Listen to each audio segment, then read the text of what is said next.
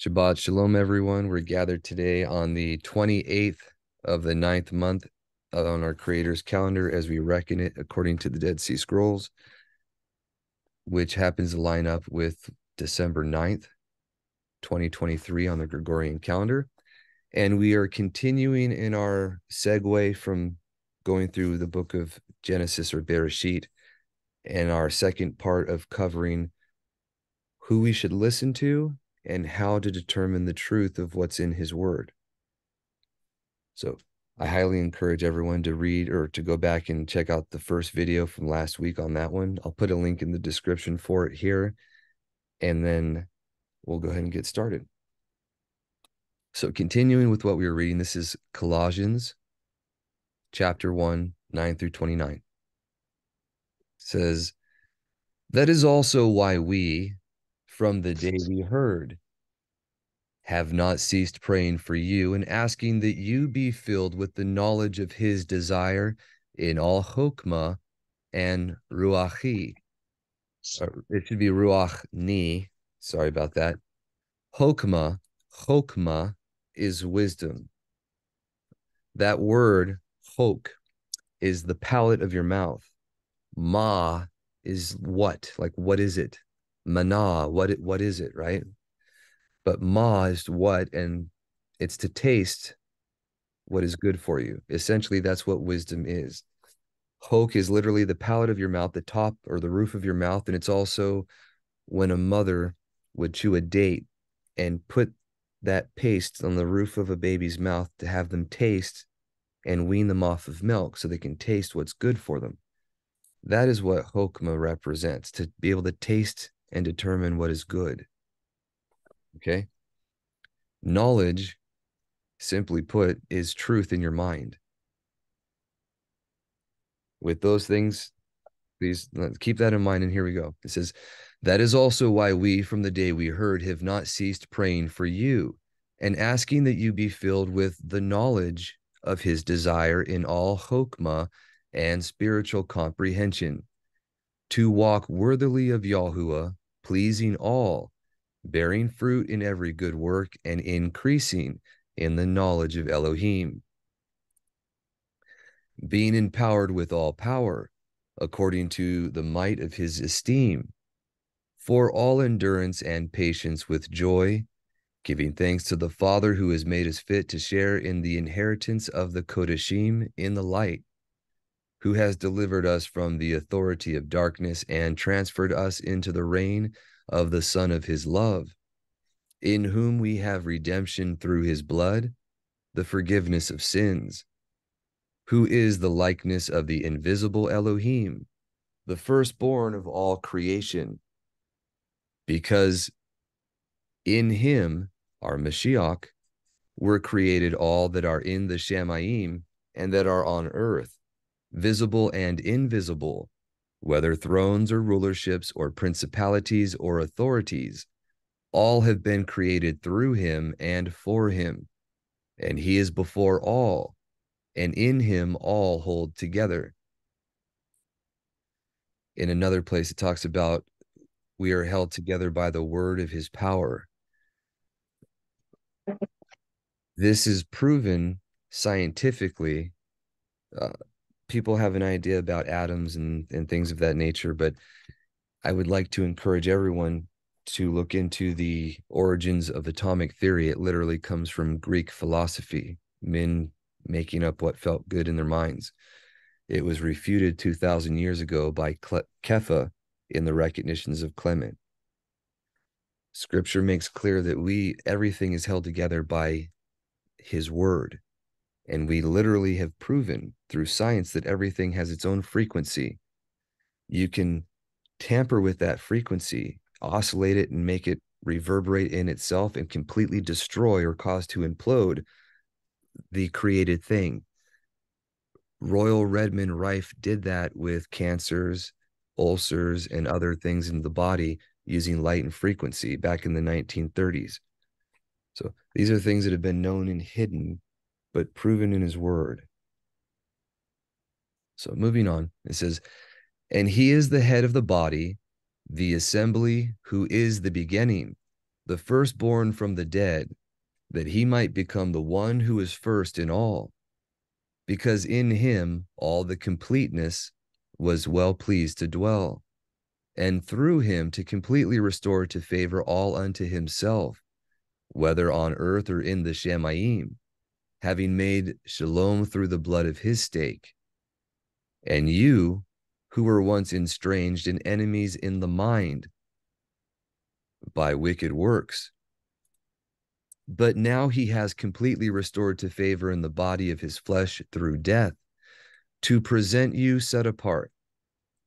So before you were estranged by wicked works, but because he died, you can be presented set apart, blameless and unreprovable. Right? If you continue in the belief, which means doing, right? Amuna is trust, trustworthiness, it's faith and faithfulness, it's belief and trust and and doing, right? Founded and steadfast, and are not moved away from the expectation of the Besora which you heard, which was proclaimed to every creature under the Shamayim, of which I, Shaul, became a servant who now rejoice in my sufferings for you, and fill up in my flesh what is lacking in Mashiach's afflictions, for the sake of his body, which is the assembly, of which I became a servant according to the administration of Elohim, which was given to me for you, to feel the word of Elohim, the secret which has been hidden from ages and from generations but now has been revealed to his Kodashim, to whom Elohim desired to make known what are the riches of the esteem of this secret among the nations, which is Mashiach in you, the expectancy or the hope of esteem. If you guys remember, or for anyone that doesn't know, Mashiach as a word is very interesting but mush like mush mush is touchable or touchy feely what we get mushy from in english right? She is a gift or present. The yah right is his working hand and literally the haith is a, a wall or an embodiment a container. So you can say it's the touchable fillable communication which is shiach right it is the word made flesh it is the means of a communication and discourse. It is literally his gift, which is his working hand contained. All of that is literally in the word Mashiach. And when you know that, it's why I actually use that instead of saying Messiah or something else. It's not to be, I'm not trying to be peculiar or weird or anything or saying you, well, you have to say things like this or, or anything like that. But the point it is very meaningful to me. So when you hear Mashiach in you, that's his gift, his means of communication. It, that there's so much into that word, and I just wanted to have you be familiar with that. If you want to see that for yourself, just look up those letters. I, uh, if you look up Ernest Klein's etymological dictionary for of the Hebrew language for readers of English, that's the best source I have that's what I use the most, but you can also use the Strong's Concordance.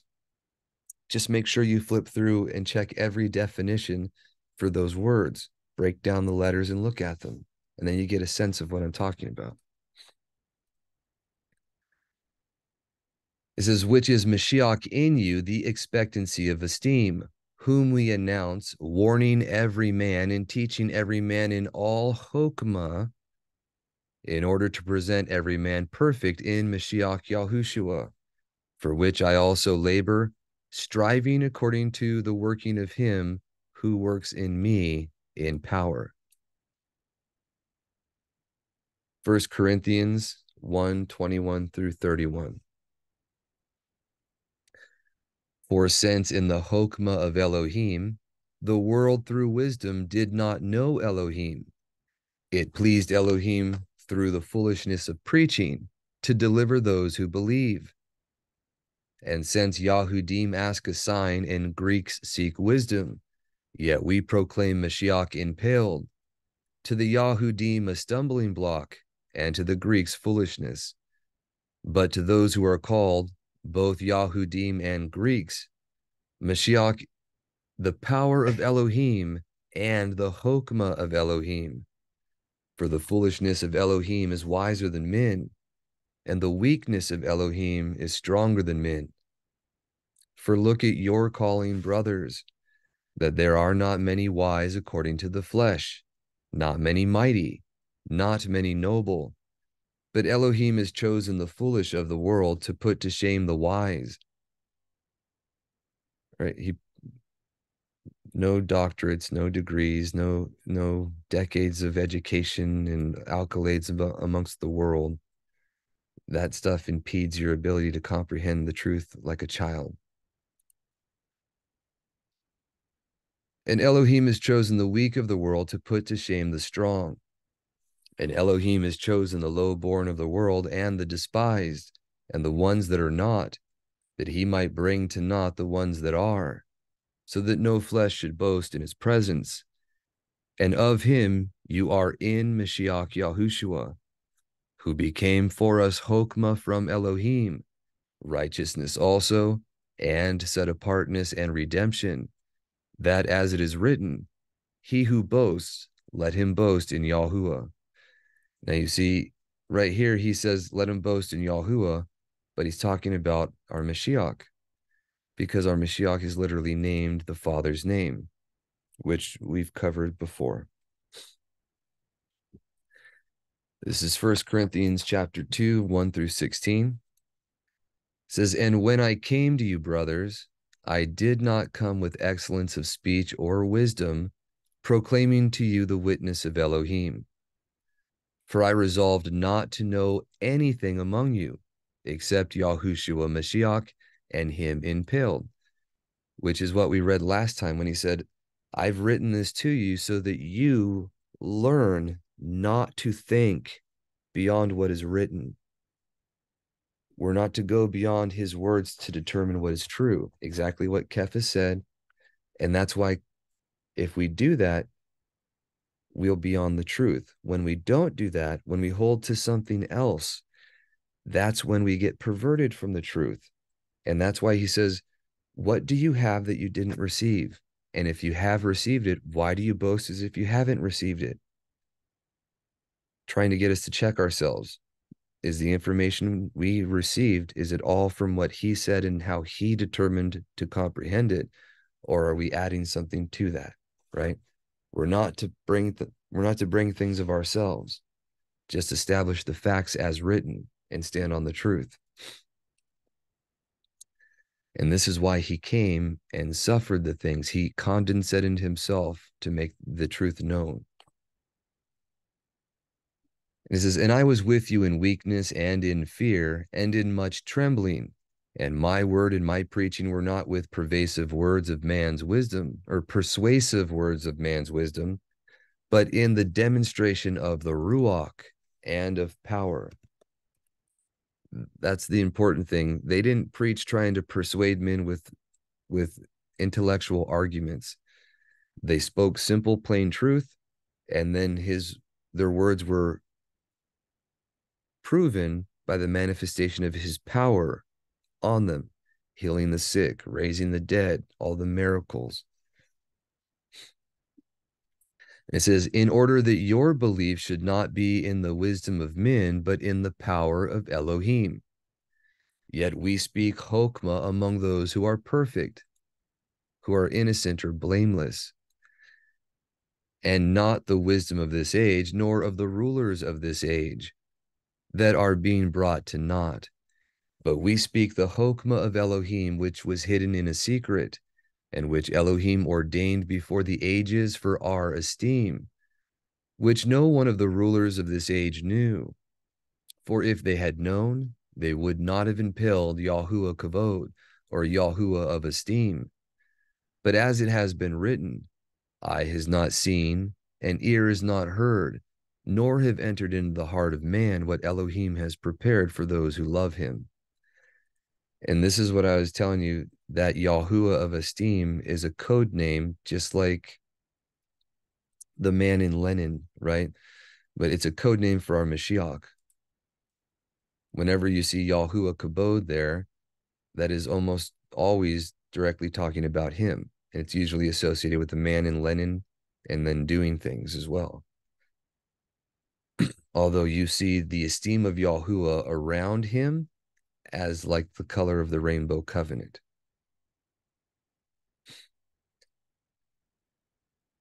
Says, Yet Elohim has revealed them to us through his Ruach, for the Ruach searches all, even the depths of Elohim. For who knows men, or sorry, for who among men knows the thoughts of a man except the Ruach of the man that is in him? So also the thoughts of Elohim no one has known except the Ruach of Elohim. And we have received not the spirit of the world, but the Ruach that is from Elohim, in order to know what Elohim has favorably given us, which we also speak not in words in man's wisdom, or not in words which man's wisdom teaches, but which the set apart Ruach teaches, comparing Ruachni or spiritual with spiritual. Yet the natural man does not receive that of the Ruach of Elohim, for they are foolishness to him, and he is unable to know them because they are spiritually discerned. But he who is spiritual discerns indeed all, but he himself is discerned by no one. For who has known the mind of Yahuwah? Who shall instruct him? Yet we have the mind of Mashiach. This is very simple. And there's two things I really gain from this from a personal perspective. I cannot know what someone else is thinking unless I ask them and they directly tell me. I that's really helped me to stop being presumptuous or projecting my own thoughts onto others. And then and I this is what I say I do. I try to live this way. I am not perfect, but these are what I determined from these scriptures to do. The other one is that we can only go to his word to determine his will. Because he says his ruach searches all, even the depths of Elohim. And our Mashiach makes it very clear that the Ruach will lead you into all truth, and his word is the truth. It is every word from the mouth of Elohim that we are to live by. And it is the Ruach that is, or it's his word that is Ruach and life. so continuing here, this is Romans 8 3 through 14. For the Torah being powerless in that it was weak through the flesh, meaning we sin, and it was the one who does it will live by it. Okay.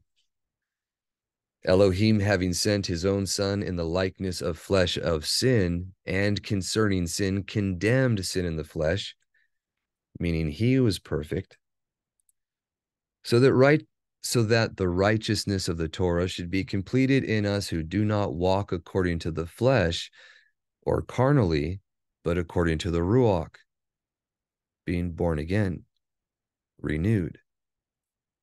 For those who live according to the flesh set their minds on that of the flesh, but those who live according to the Ruach, that of the Ruach. Before we continue, real quick, I'm sorry. I highlighted this because natural man I wanted to mention something significant. This natural man is the one that's unable to receive the things of the Ruach of Elohim. And we don't want to be that one. However, as we read before, and we'll see it again as we go through these scriptures, men, through the instigations of the adversary, who is a contriver, a deceiver, one who likes to trip people up with their words, they use what they call hocus pocus or hidden meaning of words, occult word meanings, right? To define things and get people to be tripped up. One of them is in what they call themselves. They actually have uh, what is defined as human or human being legally as the natural man of scripture. They don't really tell you that, but they call everyone a human. They say, oh, we're all human. They have human this, human that, and they get you to agree with it when you'll never find that word anywhere in scripture. He made man and woman, and they are the people of Elohim who are, eh, these are titles that are legitimate man, woman, people, but human is never used. So the adversary takes a thing that was never given from above and makes his own perversion of it. That kind of thing you find all over the place. Well, they'll twist things, or they'll have stuff with hidden meanings that we just don't know about. To anything that's not done in consent is fraud. So you don't have to be you don't have to be worried that oh no, I'm going to be tripped up in the things I'm doing, but you want to conform yourself as best you can to the truth. So say the words that he uses. Define yourself as the, the word defines you. And then you won't go far from what's right. That's the whole point there.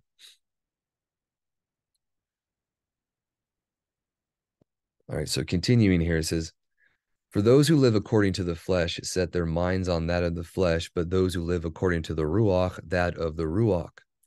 For the mind of the flesh is death, but the mind of the Ruach is life and shalom because the mind of the flesh is enmity towards Elohim and does not subject itself to the Torah of Elohim, neither indeed is it able. And those who are in the flesh are unable to please Elohim. Yet, and these are those that are carnal, that do the works of the flesh. The Dead Sea Scrolls would define this as the those that partake of the ruach of the prince of darkness, as opposed to the Ruach of the Prince of Light.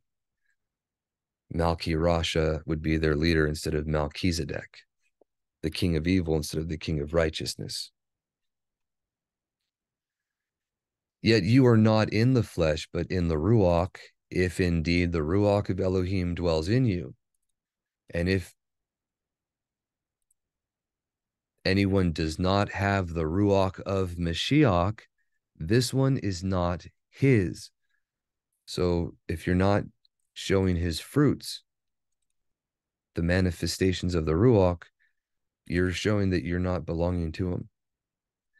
These are things that we, I'm not pointing fingers and trying to condemn anyone. The purpose is self reflection.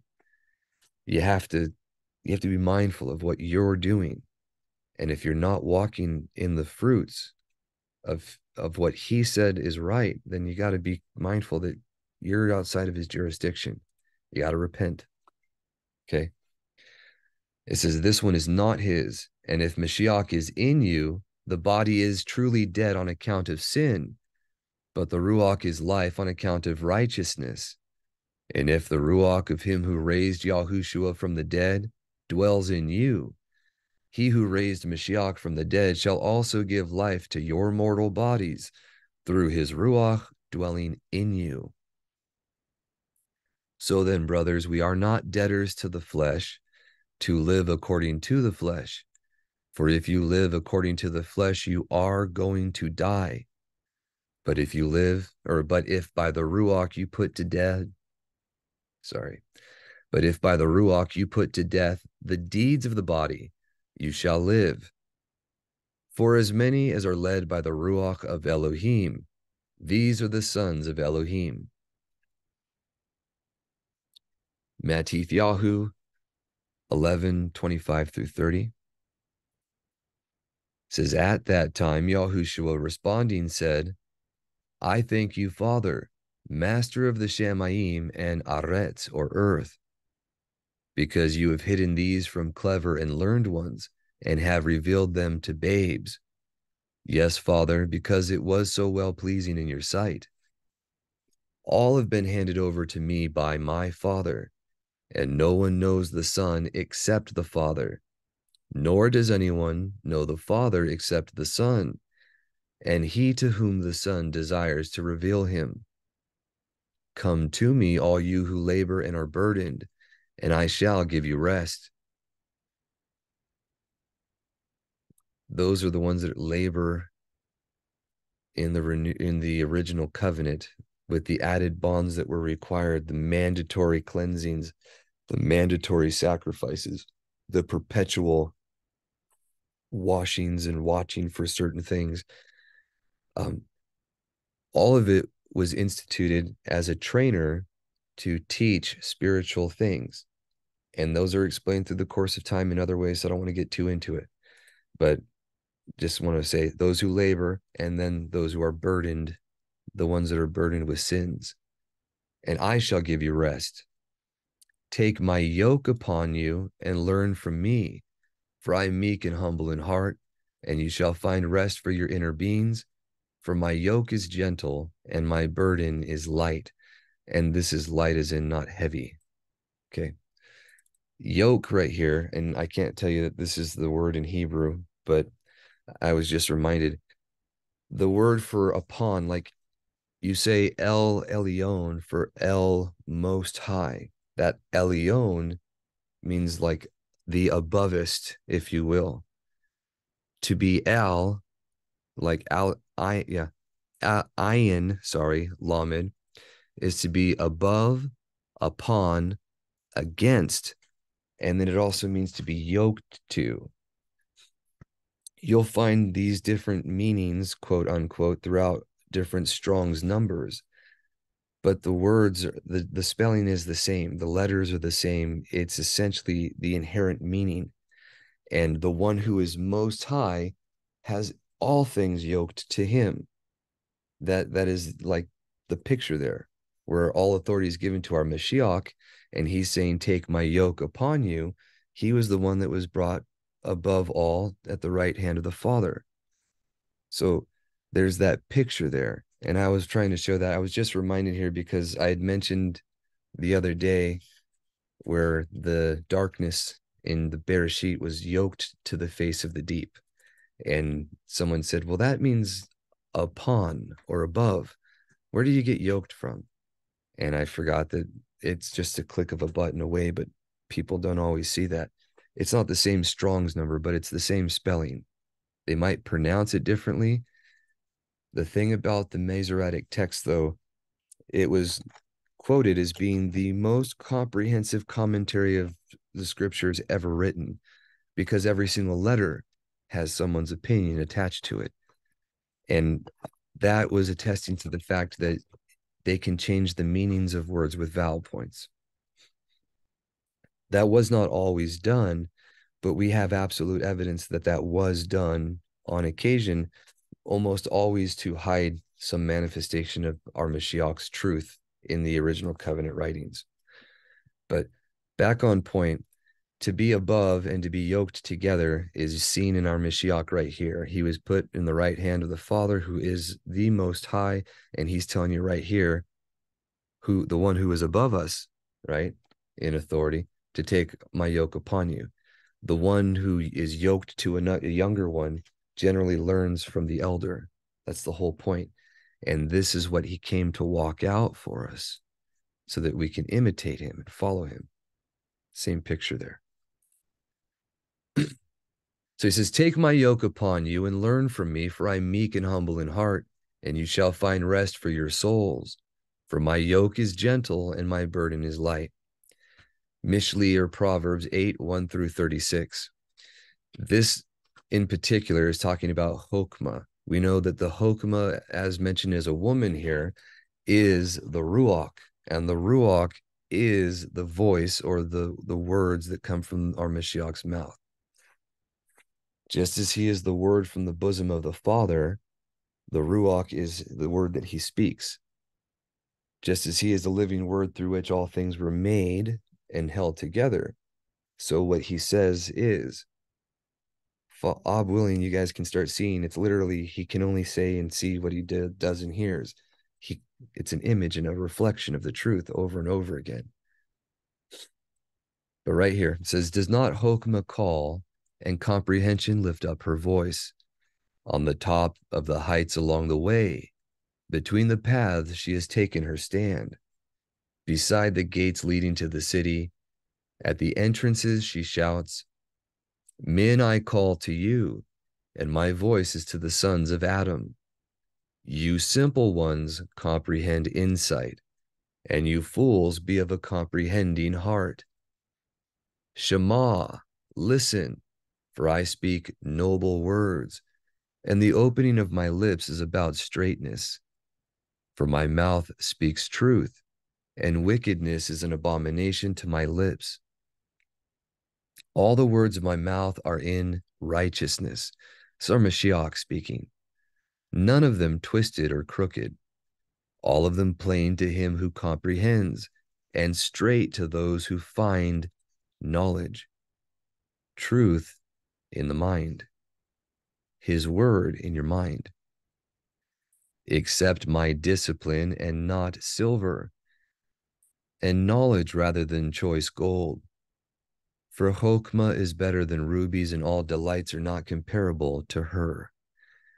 This word for discipline is the same word that you have for his judgments or his chastisements that he's going to bring upon the children for not listening. If they will not hear, then he's going to do these things to him. And seven times more and seven times more.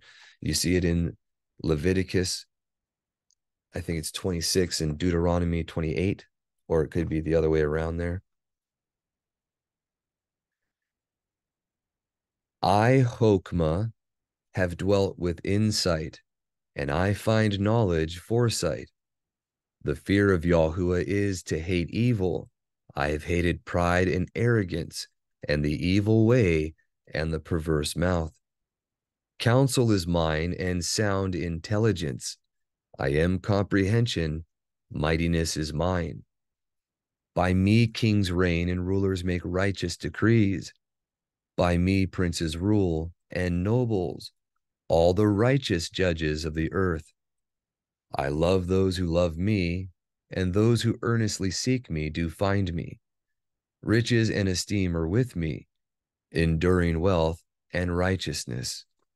My fruit is better than gold and fine gold, and my incense than choice silver. I walk in the way of righteousness in the midst of the paths of right paths of right ruling, to bestow substance on those who love me and to fill their treasuries. Yahuwah possessed me, the beginning of his way, as the first of his works of old. I was set up, anointed, poured out ages ago, at the first, before the earth ever was. This word, when I first read it, it was different in the uh, in what they call the um, Halleluyah scriptures it was different in that version than it was in the um, ISR that I was familiar with. The Institute for Scripture Research, which is very similar, but not completely identical. It had set up, and the other one had anointed or or poured out, one of the two. And I was curious about why there was such a discrepancy. So I looked at the word in the Hebrew and it's really amazing. It's actually to be set up or anointed, to be poured out like a libation offering. And this is what happened to Yahushua before anything was ever made. He knew all that would happen to him, and he willingly did it. That's why it says that he was the lamb slain from the foundation of the world. Okay free will and full consent. He says, I was set up ages ago. I was set up, anointed, or poured out ages ago at the first, before the earth ever was. When there were no depths, I was brought forth. When there were no springs heavy with water. Before mountains were sunk, before the hills, I was brought forth. Before he had made the earth and the fields or the first dust of the world. When he prepared the Shamayim, I was there. When he inscribed a circle on the face of the deep. When he set the clouds above. When he made the fountains of the deep strong. When he gave to the sea its law so that the waters would not transgress his mouth. When he inscribed the foundations of the earth, then I was beside him, a master workman I was his daily delight. This is quoted in Gad the Seer, chapter one, with the vision that Gad had, and he sees in the Ruach, our Mashiach, who's the man dressed in linen, and the Father talking to him, saying, Haven't you been my daily delight? And no one, no other created thing is like you, determining that he's different from the Father who is who is like you among all things, right? When he was only really equated to all created beings. But continuing, rejoicing before him all the time, rejoicing in the world, his earth, and my delights were with the sons of Adam. And now hearken to me, you children, or Shema, listen to me, you children. For Ashrei, that means prosperous, happy, confirmed, authenticated, walking straight, and blessed. Ashrei are they who guard my ways, listen to discipline, and become wise and do not refuse it. Ashrei is the man who listens to me, watching daily at my gates, waiting at the post of my doors. For whoever finds me shall find life and obtain favor from Yahuwah. But he who sins against me injures himself. All who hate me love death. And for anyone's peace of mind to know for certain that this is the Ruach speaking in the voice of our Mashiach, and it's about him. You just keep in mind what he said that the words that he spoke, that he speaks is Ruach and life, and the Ruach leads you into all truth and only says what he says. It brings forth his words. On top of that, in what is called the apostolic constitutions, when it's going over the festivals and it's at the end of that section elucidating or enlightening us about all the all the times our Mashiach appeared to men throughout the original covenant. It quotes this as him in his person that Shalomo was speaking through when he gave it. And then it also quotes a psalm about the the the righteous prince going in meekness and righteousness that's David had sung concerning the beloved. It literally says in the psalm for or by David, if you will, in the English, but they have that as comprehending concerning then the beloved. And every one of those psalms that say by David is the literal first person account of our Mashiach and what he's doing. So something to keep in mind when you're reading those. And when you read that in that light, also know that we are his body, and that's a representative as he being the head. These things will also happen or apply to you in that capacity, which is what has been appealing to the Psalms the entirety of uh, the history man have studied them. And in one of the letters, I think it's a letter of, of Athanasius on the interpretation of the Psalms, they go into detail expounding that on that stuff. It's pretty amazing. Although that man in general, I can't recommend, but that work is something that he quoted from another. And you can just read it if you want and test it for yourself, which is what I encourage everyone to do. All right, continuing here, it says Yahukanan 8, 12 through 59. Therefore, Yahushua spoke to them again, saying, I am the light of the world. He who follows me shall by no means walk in darkness, but possess the light of life. This same allusion is in Psalm 19, where it says that the son is like the bridegroom. And then when you line up the parable in the creation account with his 22 works throughout history, the sun, moon, and stars in the, the fourth day is representative of our Mashiach fully revealed, bringing the kingdom, which the moon lining up with the kingdom, we went over in great detail in Gad the Seer chapter one when we did that Shabbat study. There's references to it all the way from Genesis, the Testaments of Naphtali, the Psalms, uh, the book of Gad the Seer, and elsewhere that show the kingdom, both the earthly kingdom that's tied to the seed of Dawid and the Shamaim kingdom are representative in the moon. Okay.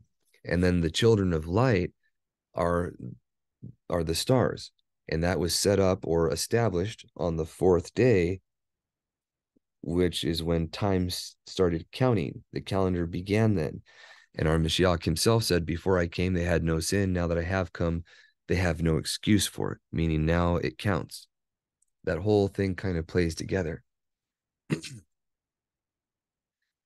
it says, The Pharisees therefore said to him, You bear witness about yourself. Your witness is not true.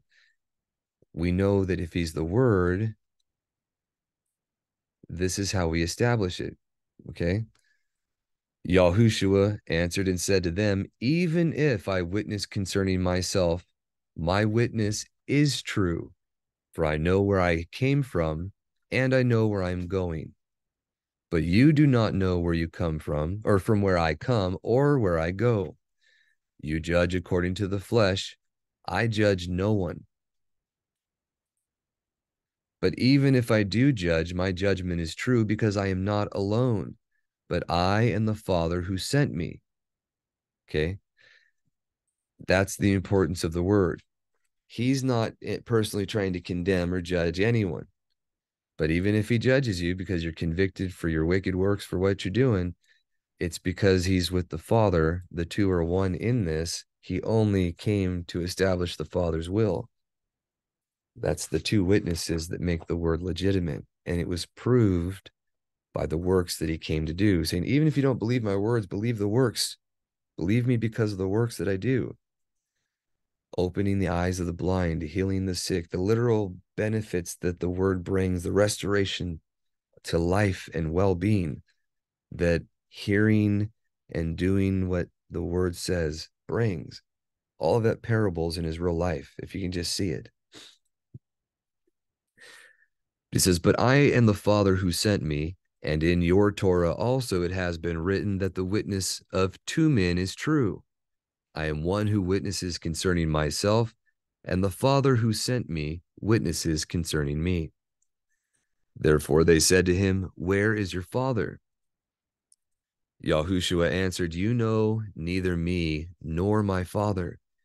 If you knew me, you would know you you would have known my Father also, because of what we already read.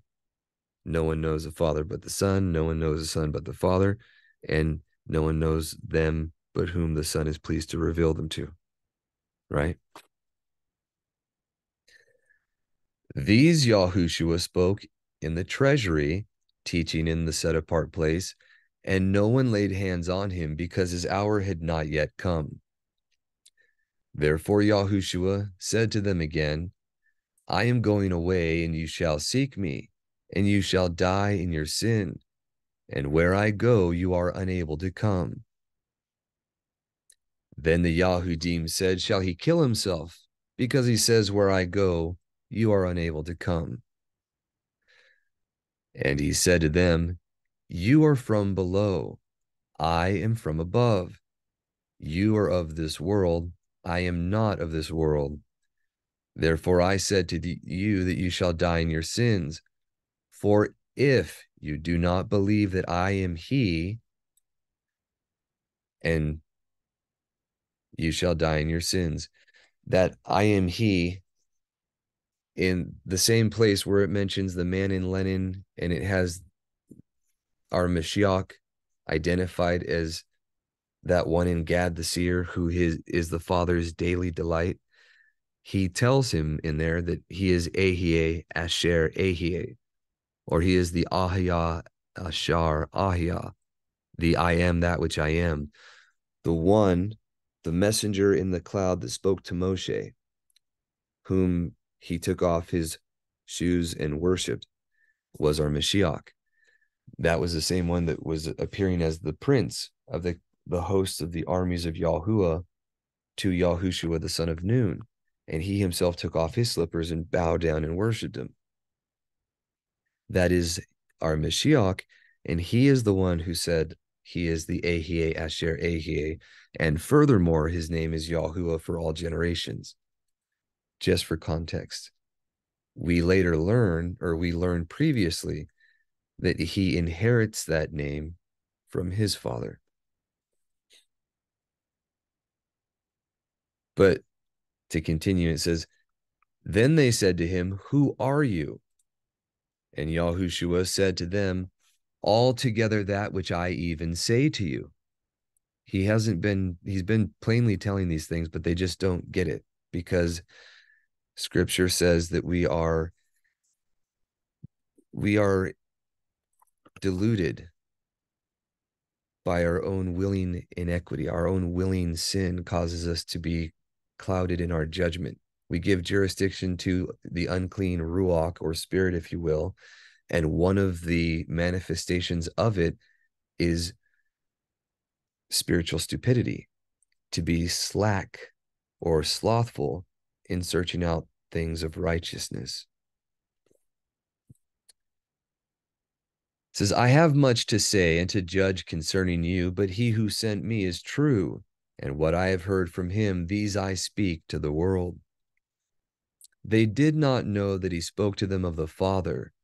So Yahushua said to them, When you lift up the Son of Adam, then you shall know that I am, or I am he, and that I do none at all above myself. But as the Father taught me, these I speak, and he who sent me is with me.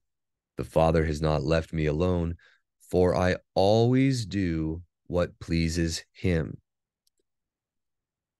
And that is the condition to which we will always have him with us when we walk in love. As he was speaking these words, many believed in him. So Yahushua said to those Yahudim who believed him, If you stay in my word, you are truly my taught ones. Not if you go read a dozen or other books that talk about it, but just stay in his word, right? And you shall know the truth, and the truth shall make you free. But this self determining what it is, you can't have anyone, and that includes me, tell you this is what his word means. You have to take it for what it says. And I try, ob willing, I try to tell you what it says and where you can find it and read it for yourself. Right? they answered him, We are the seed of Abraham and have been servants to no one at any time. How do you say you shall become free? Yahushua answered them, Amen, Amen, I say to you, everyone doing sin is a slave of sin. And a slave does not stay in the house forever. A son stays forever. If then the Son makes you free, you shall be free indeed. I know that you are the seed of Abraham. They are literally the seed of Abraham. But you seek to kill me because my word has no place in you. I speak what I have seen from with my father, and you do what you have heard from your father. They answered and said to him, Abraham is our father. Yahushua said to them, If you were Abraham's children, different from the seed here, but if he was their father, if you were his children, you would do the works of Abraham. But now you seek to kill me, a man who has spoken to you the truth which I heard from Elohim. Abraham did not do this. Genesis 18. He saw three men. One of them he bowed down to and called Yahuwah. He listened to what that man had heard from Elohim and did not seek to kill him, but on the contrary, begged him to stay, washed his feet, offered him a meal, treated him with kindness and hospitality. He says, You do the works of your father. That's the contrast there. A lot of people might not get that. Then they said to him, We were not born of whoring. We have one father, Elohim. Yahushua said to them, If Elohim were your father, you would love me, for I came forth from Elohim and am here. For I have not come of myself, but he sent me. A word shall go forth from my mouth and shall not return to me void, but shall accomplish all that I sent it for. That remember, that was a foretelling about this. Why do you not know what I say? Because you are unable to hear my word. You are of your father the devil, and the desires of your father you desire to do. He was a murderer from the beginning and has not stood in the truth, because there is no truth in him. When he speaks the lie, he speaks of his own, for he is a liar and the father of it. And because I speak the truth, you do not believe me. Who of you proves me wrong concerning sin? And if I speak the truth, why do you not believe me? He who is of Elohim hears the words of Elohim. Therefore, you do not hear because you are not of Elohim. The Yahudim answered and said to him, Do we not say well that you are a, a Shemarini or a Samaritan and have a demon? So you see, he's he's telling them very truthfully, you can't comprehend what I'm saying because you do the things that the devil desires you to do. He's your father because you're obedient to him.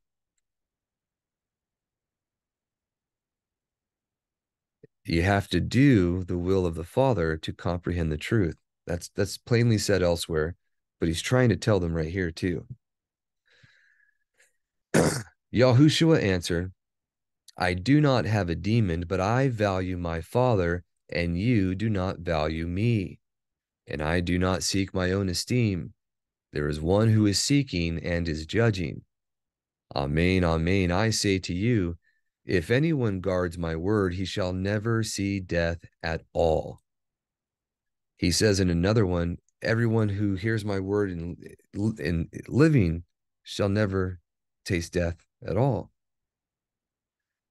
Twice he mentions this, and people might not be aware, but we actually have the account in Genesis, Bereshit, where Hanok pleased Elohim and walked with him and was no more amongst men. It's expounded on more in the book of Yobelim, the book of Hanok, and other places. But because of his obedience to the to the truth that was given, he was taken to paradise. His heart's desire was given to him. He was literally shown all things in creation, how everything worked, all the luminaries, top down, and everything in between. He wrote it down and gave it to his posterity. And then he was paraded into paradise, where he has the honor of living until the consummations of the times. And he's literally recording the deeds of his children through posterity, shameful as we've been. He's not the only one we also have Eliyahu, who is taken in a fiery chariot. That's in the common scriptures. Outside of those, in the book of Hanok, it mentions in the animal apocalypse that Eliyahu was taken to where Hanok was. And in Yobelim, we find that he was taken to paradise. Other witnesses for those are in Second Baruch, where Baruch himself a partaker of the southern kingdom and living and foretelling during the times where it was taken into captivity.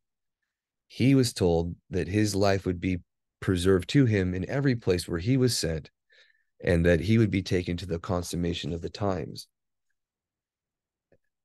Other than those ones, we have also Ezra in fourth Ezra, who's told because of his disposition and things he was doing, that he likewise would be taken and live forever and never taste death. This very promise our Mashiach said while he was here. And then we have that very example are also given in the shepherd of Hermas, where the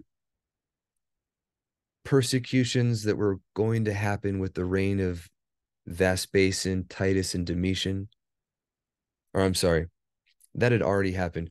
The uh, 70 AD had been passed the destruction and persecutions that were coming with the reign of Domitian around 90 AD when Yahuchanan was banished to Patmos and wrote Revelation.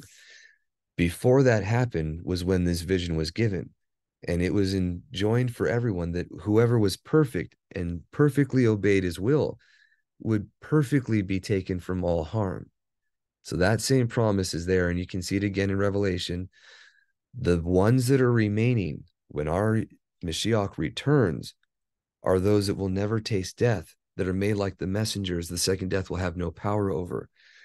They, without exception, will have to have the same heart and obedience and condition of mind as the men that have been kept from from their generations because our creator is not partial in anything. But this is literally true. Everything in his word is literally true. You, he cannot be contrary to what he said and you can find the evidence in the other in the hidden writings that aren't readily available or aren't currently popularly studied.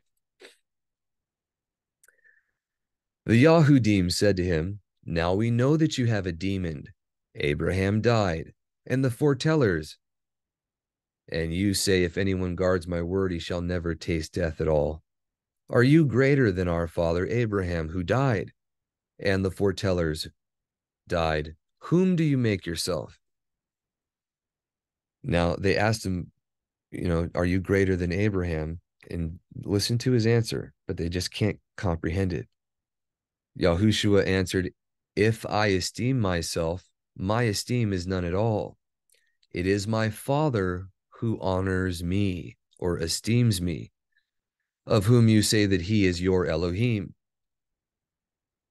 Alluding to Chokmah Shalomo or the Wisdom of Solomon, chapters, what is that, one and two, where he would call himself the son of Elohim and they would try him and see if he'd be patient and meek while they persecute and kill him. It was all foretold back then, over a thousand years before he came. It says, And you have not known him, but I know him. And if I say I do not know him, I shall be like you, a liar but I do know him and I guard his word. Your father Abraham was glad that he should see my day, and he saw it and did rejoice. Genesis 18 and 19. The Yahudim, therefore, and I'm not just quoting this because I want you to take my word for it. This right here is quoted as mentioning our Mashiach's appearance to Abraham in the Apostolic Constitutions by Irenaeus and others of the renewed covenant believers.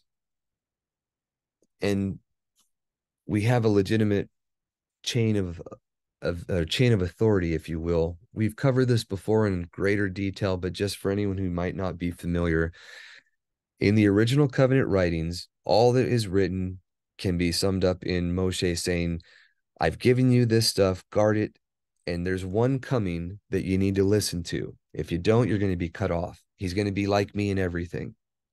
That one was our Mashiach.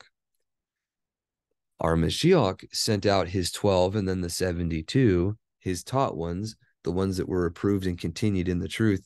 And he said, Anyone who doesn't listen to you is rejecting me, and anyone rejecting me is rejecting my Father. It's better for Sodom and Gomorrah in the day of judgment than it will be for those people. So the legitimacy of the book of Acts, all the epistles, the writings of the emissaries to regard them is something that is important. They themselves establish what is called the apostolic constitutions. It's in their own right, it's in their own words, each of them naming themselves as they quote different things. And it was written by Clement. If you read these, they literally tell you they set up the assemblies and they anointed through unanimous consent of the governed they anointed overseers and members of the body in positions everywhere they went. And they said, anyone who won't listen to them, cut off. Irenaeus is one of those that was anointed and made an overseer in a direct line. He was taught by Polycarp. Polycarp and, uh, and Ignatius were taught by Yahuchanan. So you can follow these tracks, and those are the ones I say, by all means, read them prove them, and then hold fast to what's good. But anything that's outside of that chain of command, I don't I don't say that you should have any regard for until you're familiar with what is in it. That's my personal opinion on that fact. It tends to be backed up by what we're reading right here. What I did not mention, and I'm just going to tell you now, there's a section in the book of Hanok that also foretells about the writing of many books and how men would go perverted for it. If you keep in mind the the facts of history, Noah was given rules for his children. It was slow shortly after that with the Nimrod, the Tower of Babel, making kingdoms and establishing man's law or a different set of instructions to abide by. And some of the oldest quote unquote laws of men from Babylon or Assyria, right there, come from the code, the law of Hammurabi, which is um, pretty atrocious. You know, talking about some superstitions and things, proving men by having them tortured, if you will. And that's all part of Babylonian municipal code, the way that, that works contrary to the, the common law. But that's for another time. So, Ob willing, you can see literally how all of this ties together. We're living out the events of his word in our own lives too, but most people don't see it because we've been so far uh, down the down the stream of history, and with the uh, arrival of technology and so many distractions, people don't study this stuff anymore. Right here it says, The Yahudim therefore said to him, You are not yet 50 years old, and have you seen Abraham? Because he said that he saw his day and rejoiced.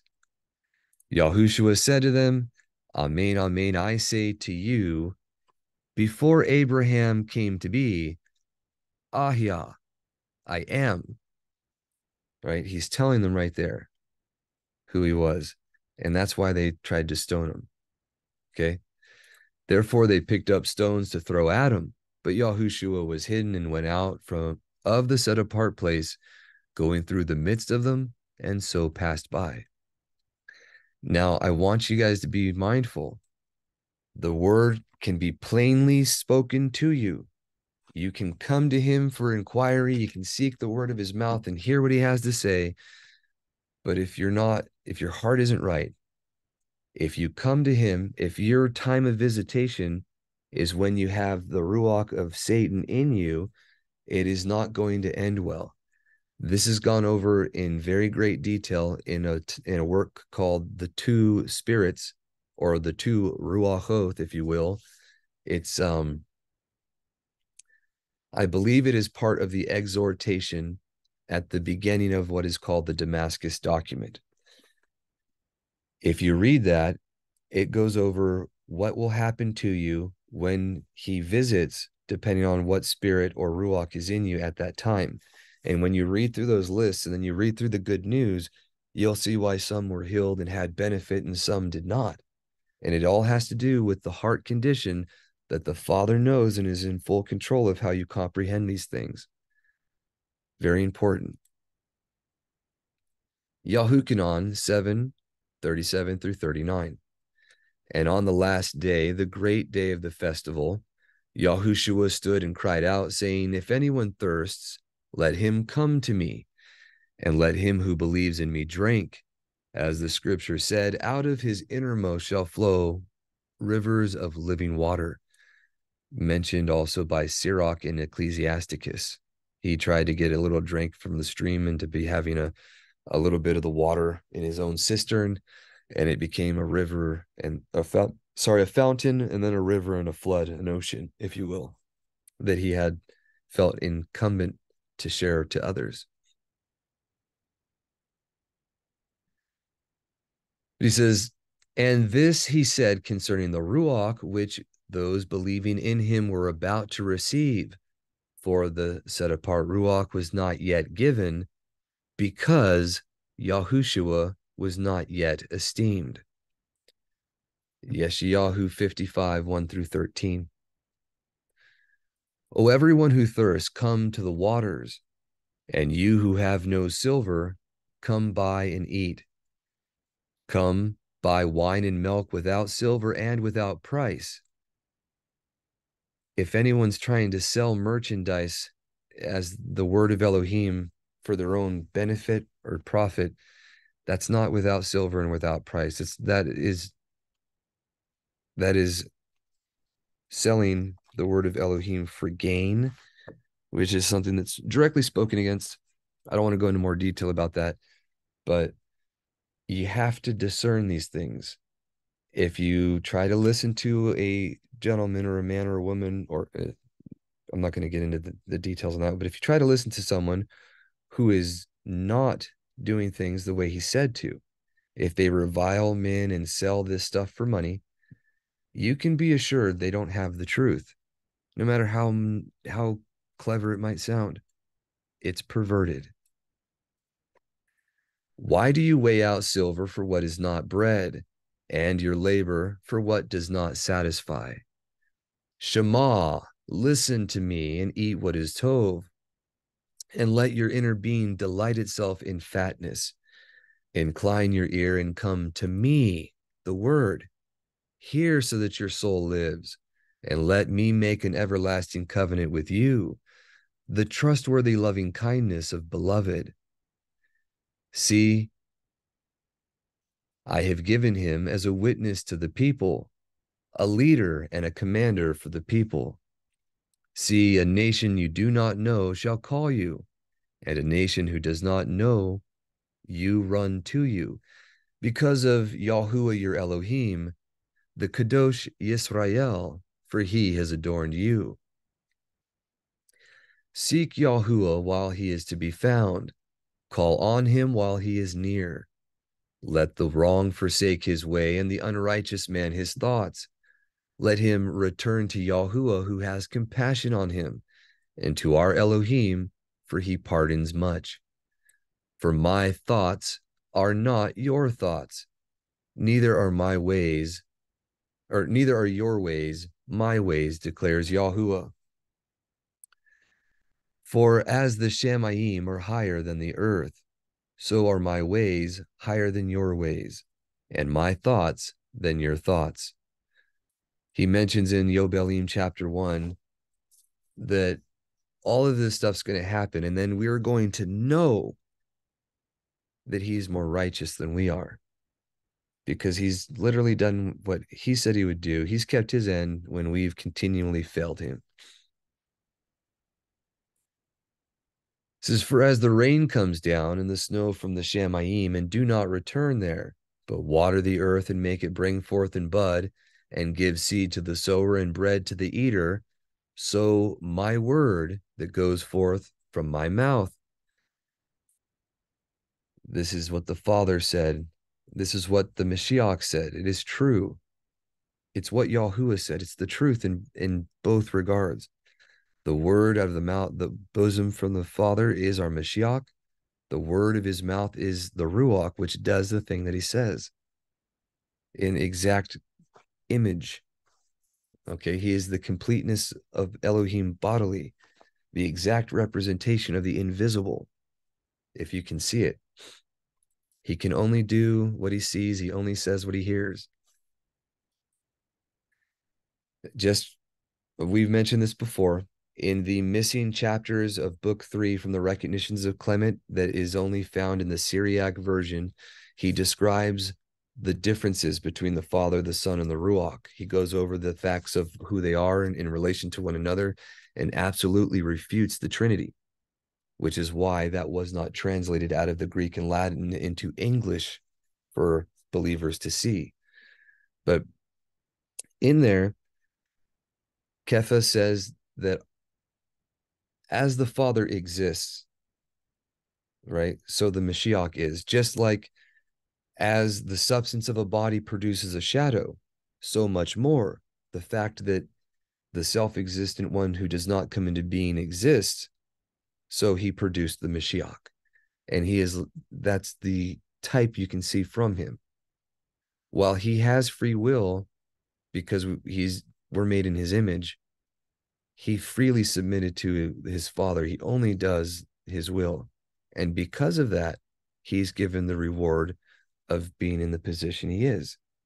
And it is the example set forth, the the banner over us, if you will, that we can see, the standard that we can look to, or the example we can follow. Right. And that's why he told us if you follow me, you will sit on my throne with me.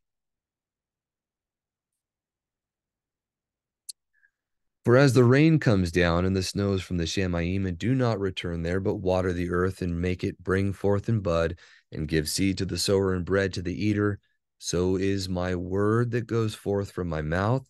It does not return to me void, but it shall do what I desire, and shall certainly accomplish what I sent it for.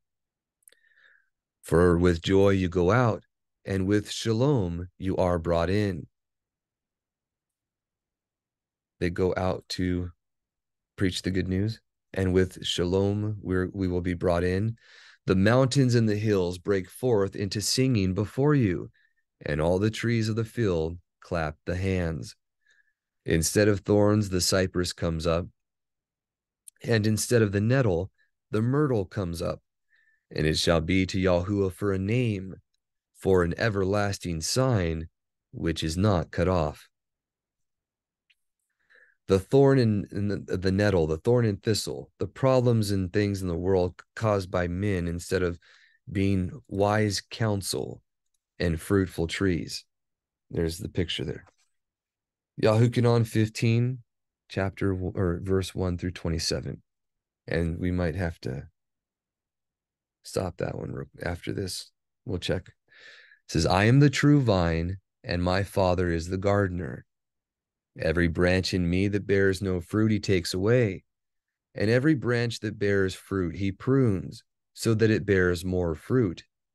You are already clean because of the word which I have spoken to you. Stay in me, the Torah, and I stay in you. As the branch is unable to bear fruit of itself unless it stays in the vine, so neither you unless you stay in me the word. I am the vine, you are the branches. He who stays in me and I in him, he bears much fruit.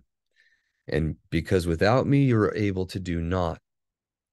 If anyone does not stay in me, he is thrown away as a branch and dries up, and they gather them and throw them into the fire, and they are burned.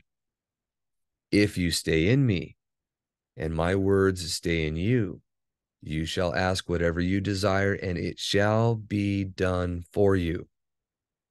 In this, in answered prayers to obedient believers, my Father is esteemed, right? That you bear much fruit, and you shall be my taught ones. Sorry, I'm sorry. His Father's esteemed in that, in us bearing much fruit, which is the point. But here, We've mentioned that before. If we stay in him and his words stay in us, we will ask for things that he will accomplish.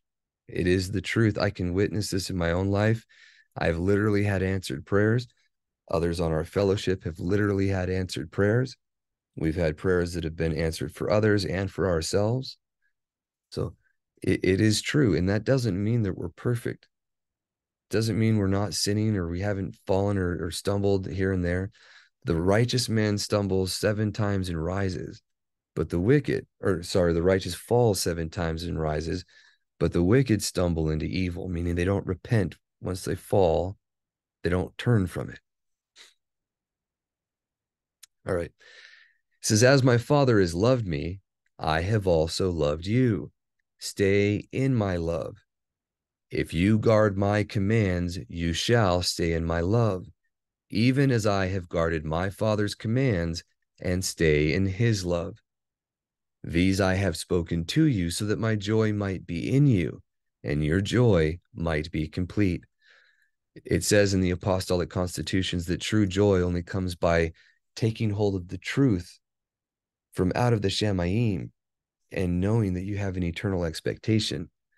So if you if you with a reasonable mind, if you know you are doing the thing he said to from the heart, that's what can bring true joy in you. There is no other everything else is fleeting.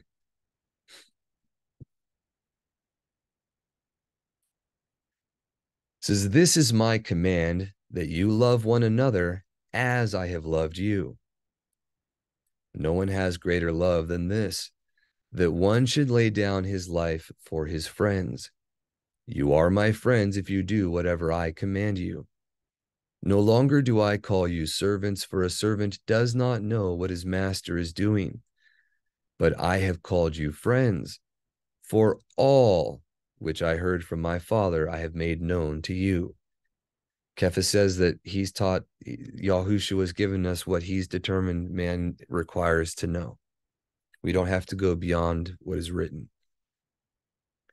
You did not choose me, but I chose you and appointed you that you should go and bear fruit, and that your fruit should remain, so that whatever you ask the Father in my name, he might give you. These I command you, so that you love one another. If the world hates you, you know that it hated me before it hated you. If you were of the world, the world would love its own. But because you are not of the world, but I chose you out of the world, for that reason the world hates you. Remember the word that I said to you a servant is not greater than his master. If they persecuted me, they shall persecute you too. If they have guarded my word, they would have guard or they would guard yours too. But all this they shall do to you because of my name, because they do not know him who sent me. If I had not come and spoken to them, they would have no sin. But now they have no excuse for their sin, meaning time started to count. For he who hates me hates my Father as well. If I did not do among them the works which no one else did, they would have no sin. But now they have both seen and have hated both me and my Father. Meaning, the manifestations of power is his Father's witness of him. This is what he's trying to say to prove. And the reason why they're not forgiven, because they hate him after he's shown him these things and done good works. They're literally returning evil for good. All right. They're literally violating the precepts of the Torah. And you can go through the right rulings right there. I believe it's chapters 21 through 23. There's one list that you can go down and then you can read what happens during his passion. It's like violated, violated, violated, violated, violated. Right down the list. It's horrible. But it's what happens when you're not walking in him says, If I did not do among them the works which no one else did, they would have no sin. But now they have both seen and have hated both me and my Father. But that the word might be filled which was written in their Torah, they hated me without a cause. And when the Helper comes, whom I shall send to you from the Father, the Ruach of the truth, who comes from the Father, it should say she, because the Ruach is given as wisdom and known as a she throughout the original covenant. The only reason why it's called a he in the renewed covenant is because spiritus is Latin and it's a masculine word. Ruach is feminine. It says, She shall bear witness of me, but you also bear witness because you have been with me from the beginning. All right. And then we might have to stop there for the, the Shabbat and continue. We got to get a get a roll call here and see what we're doing. So just one more. All right. So yeah, it's a little late for us right here. We'll probably wrap up and if everyone wants to on our fellowship, we'll finish going through the rest of this PDF or this note that will be a PDF tomorrow or next week. I'm sorry. And we'll continue. But ob willing, this is edifying for everyone. If you keep in mind the intentions of everything that we're covering is who we should listen to and how we determine the truth. Primarily through this one that we've read, his word is to be listened to. Above all things, we should seek the truth from the word himself and then how he gave it to his taught ones, which is what we covered last week. And what we'll finish up with next week if everyone wants to. So until then, you have a wonderful Shabbat, a great week ahead, Shavua Tov, and we'll see you next time.